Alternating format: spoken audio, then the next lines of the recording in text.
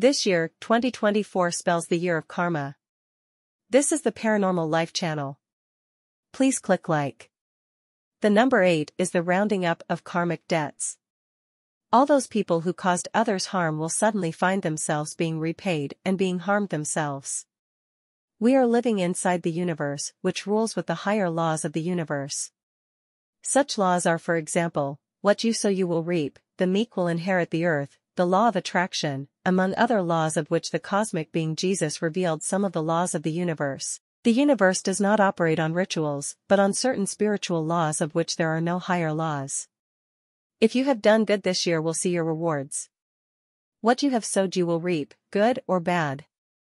The year 2024 equals the numerical 8 in the astrological chart of the planet Saturn the planet of karma and an acronym for Satan, which represents your karma. We should actually change the word Saturn to a good-sounding word. We are nearing the end of the age of Pisces and the dawning of the age of Aquarius, the age of peace. A planet epoch lasts about 2000 years. Most are unaware the words we are using bear demonic words, which puts a bad prayer on us. For example, we say good morning, which actually means mourning, at a funeral. We should choose our words wisely. The English language is a bad language. The number 8 comes before the last number in the numerical sequence, the number 9.